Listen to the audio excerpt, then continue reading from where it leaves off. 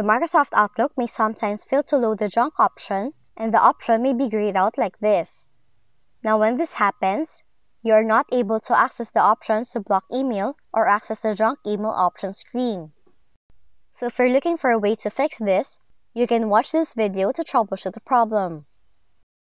Now there are several ways to fix this issue. The first solution is using the registry editor. So start the process by going to your start menu, search Reg Edit, select on it, navigate to this path,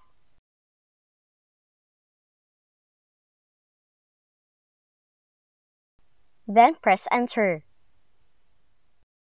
Now in here, open the disable anti-spam and then change the value of this option to 0.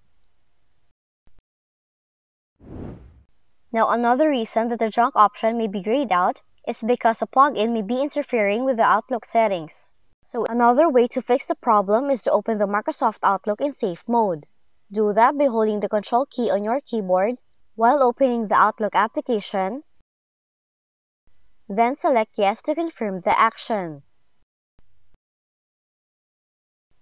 Then, select the File tab, click on Options, select Add-ins, select the Go option at the bottom of the window where it says Manage COM Add-ins, and review the list for anything that you think may interfere with the junk setting.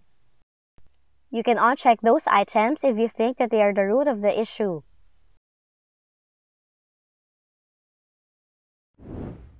Now the next method is to access the option in Microsoft Outlook for Web. You can do that by opening Outlook on your browser and sign in with your account.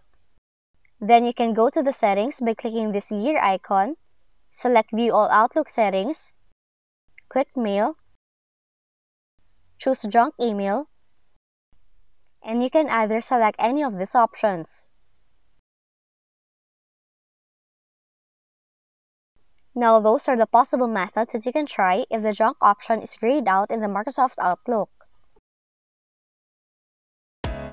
If you found this video helpful, kindly like and subscribe. You may also click and turn on the notification bell so you can be notified from whenever we release new videos.